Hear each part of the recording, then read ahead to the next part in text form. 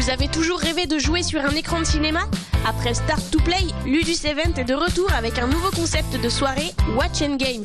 Rendez-vous le jeudi 26 mars au cinéma Vox à Strasbourg pour une soirée 100% jeux vidéo. Le thème de cette première édition sera Super Mario Bros. De la musique traditionnelle au Québec, le Vent du Nord a connu depuis sa formation en 2002 une ascension fulgurante. Formé de quatre chanteurs multi-instrumentistes, le groupe fait preuve d'un répertoire foisonnant mêlant chansons traditionnelles et compositions originales. Ils seront en concert ce jeudi 26 mars à la salle du Cercle de Bischheim.